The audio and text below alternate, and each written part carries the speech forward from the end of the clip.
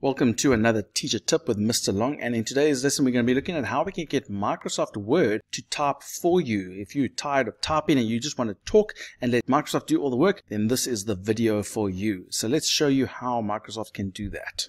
So here I have my Microsoft document open and if you notice right here, if I go all the way here, do you see there's the dictate button. So I'm going to click on it and it's going to start recording whatever I say and trying to write the text for whatever I say. But just take note, I'm going to be using some other phrases to be able to add punctuation and things like that. So we're going to click on dictate and this option opens up. You'll see we can start the recording over there, the dictation. There it started, it's made a little noise, and if you hear, it's starting to write down everything that I am saying right now.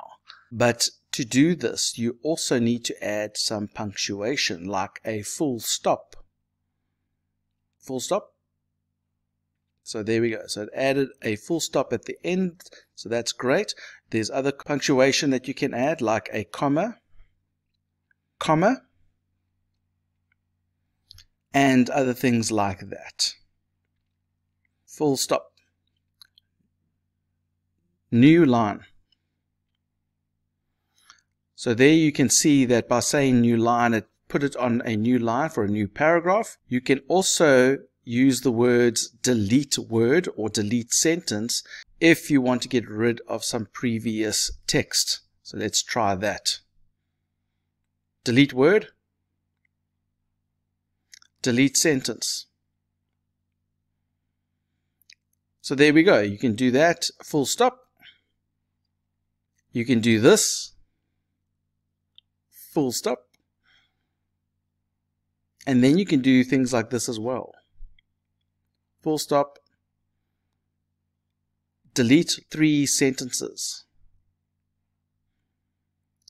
And there we go.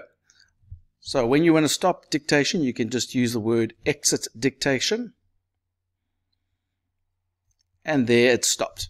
You'll notice that there's some settings over here that you can also make use of you will notice that I use quite a few key phrases in order to get that punctuation. And here's a couple of the key words that you can use like comma, full stop, exclamation mark, semicolon. That's what you need to specify if you want to make use of those features. There are other commands like these that you can also use like delete the last X words or sentences using backspace, delete, undo. You can start numbered lists and make sure that you say the end the list once you have done and so on. You can try those ones out as well. You can even include emoticons by saying smiley face, frowny face, and that'll actually add the emoticon or emoji into your text as well. So there we go. That's all you need to do in order to get Microsoft Word to write whatever you say.